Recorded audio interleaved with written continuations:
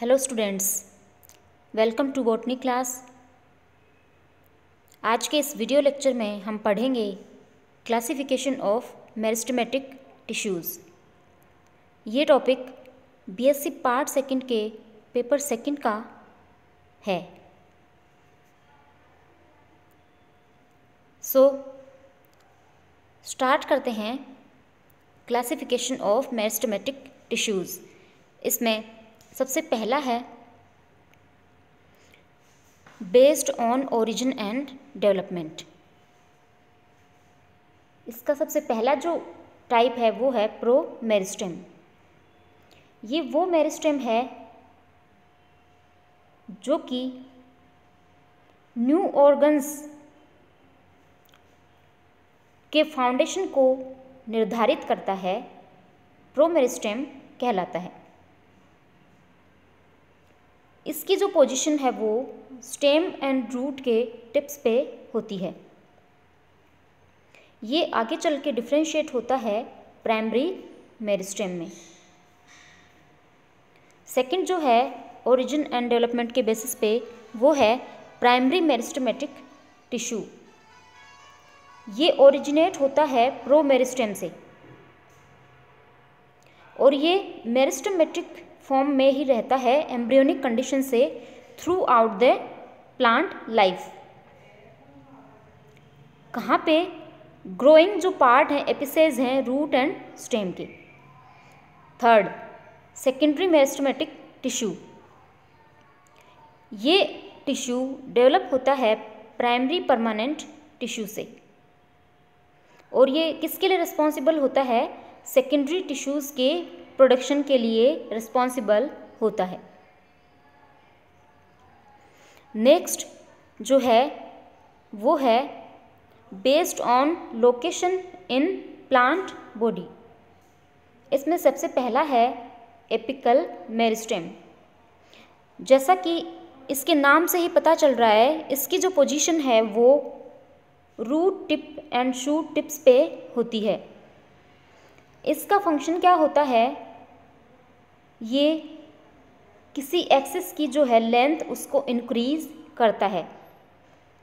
दूसरा lateral meristem इसके भी नाम से ही जैसे कि आप समझ सकते हैं, इस मेरिस्टेम की जो पोजीशन है वो स्टेम एंड रूट के लेटरल साइड में होती है।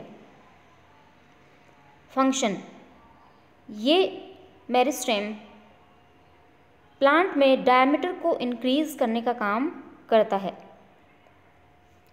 थर्ड इंटरकेरली मेरिस्टेम इसकी जो पोजीशन है वो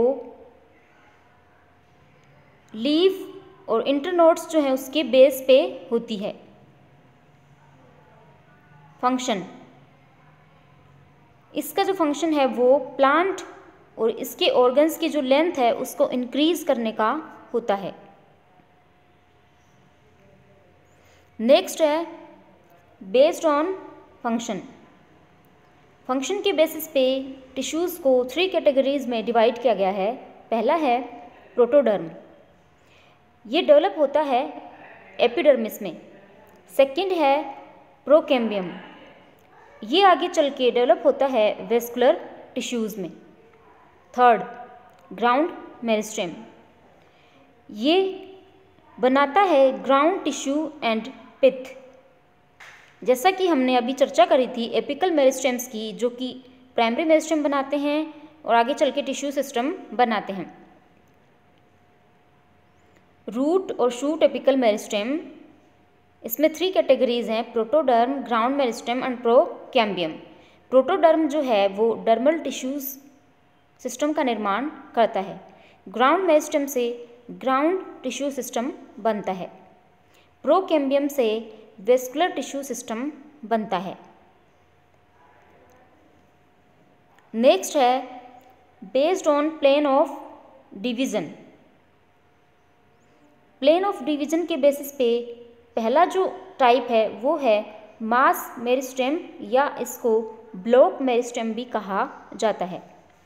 इसके जो एग्ज़ाम्पल हैं, जैसे यंग एम्ब्रियोज, एंडोस्पर्म और रिप्रोडक्टिव ऑर्गन्स जो कि कब बनते हैं?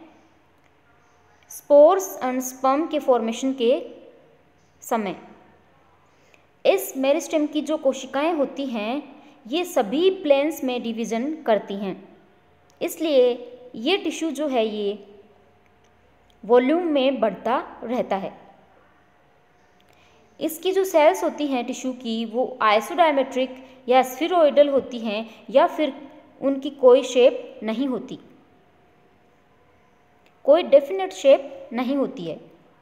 दूसरा रिब मेरिस्टेम और फ़ाइल मेरिस्टेम इसके एग्ज़ाम्पल हैं cortex and pith of root and cortex of stem इस टिश्यू की जो कोशिकाएँ होती हैं वो डिवाइड करती हैं राइट एंगल पे। किसके? प्लांट ऑर्गन के लॉन्गिट्यूडनल जो एक्सिस होता है, उसके राइट एंगल पे डिवाइड करती हैं। और इसके रिज़ल्ट फलस्वरूप पैरेलल फाइल्स बनती हैं सेल्स की, कोशिकाओं की, जिनको रिब्स कहा जा रहा है। रिब मेरिस्टम जो है, वो कैरेक्टरिस्टिक्स होता है ऑर्गन्स की। जो कि सिलेंड्रिकल फॉर्म में होते हैं। नेक्स्ट है प्लेट मेरिस्टेम एग्ज़ाम्पल है इसके।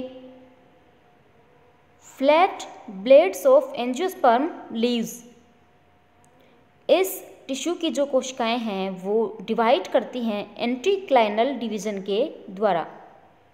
एंटीक्लाइनल जो डिवीजन्स होते हैं, वो उसके द्वारा कोशिकाओं की संख्या बढ़ती है, एक ही स्तर पे, एक ही लेयर में कोशिकाओं की संख्या बढ़ती है। इस टिश्यू में डिवीज़न के द्वारा मेरिस्टेम, यानी कि मेरिस्टेमेटिक सेल्स ग्रो करती हैं शीट की फॉर्म में, लेकिन थिकनेस में नहीं। प्लेट मेरिस्टेम जो है, वो प्लांट ऑर्गन्स की कैरेक्टरिस्टिक को शो करता है जो कि फ्लैट फॉर्म में नहीं होते। इस मेरिस्टम की एक्टिविटी के फलस्वरूप फ्लैट ऑर्गन्स बनते हैं, लीफ लाइक ऑर्गन प्रोड्यूस होते हैं। Thank you so much.